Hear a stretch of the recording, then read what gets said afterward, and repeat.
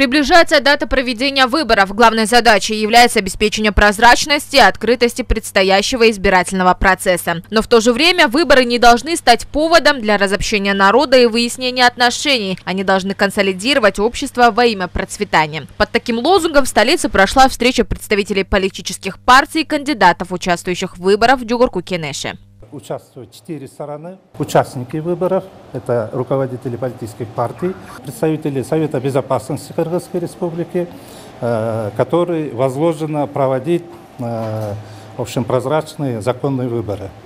И четвертая сторона – это мы, это общественная организация Келечеке Джол, э, который будем выступать как арбитр со стороны властей или со стороны участников – нарушается законодательство. Мы будем арбитром, мы будем э, проводить монитор и э, выявлять, где нарушается закон о выборах. Наша основная цель, чтобы выборы Джогорка провели на законных основаниях.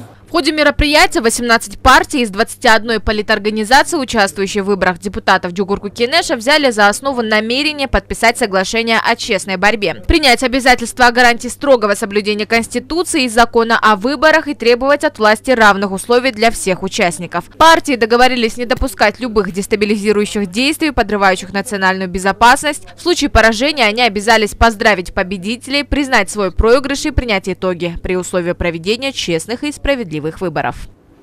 В мероприятии приняли участие представители ЦИК, Совета безопасности, государственный секретарь. По словам Суимбека Космамбетова, пришло время каждому гражданину, кандидату и компетентным органам ответственно подойти к вопросу выборов.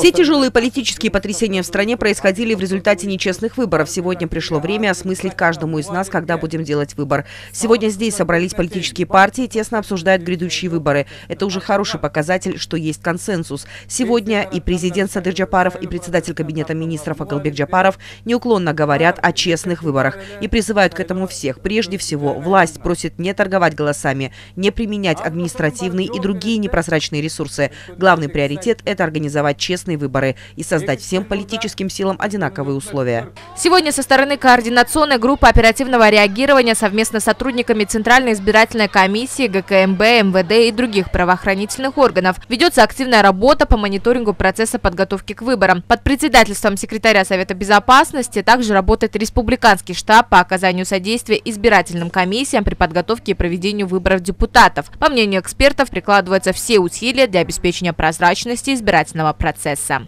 президентом Крымской Республики Садром Рожевичем Джапаровым э, поставлена цель и установка провести честные, прозрачные и, самое главное, законные выборы.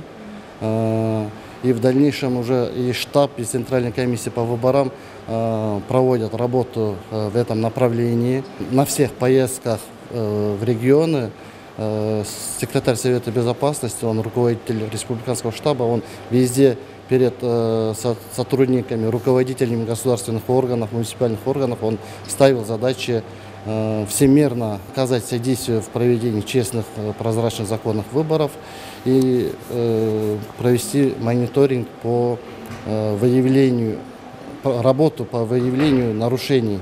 Эксперты отмечают, что прозрачные и честные выборы зависят не только от ответственного подхода госструктур, но и в первую очередь от самих избирателей. Ведь создание качественного и сильного парламента в руках именно граждан. Айтолкун Сулпуева, Бакт Каязов, ЛТР Бишкек. Присаживайтесь.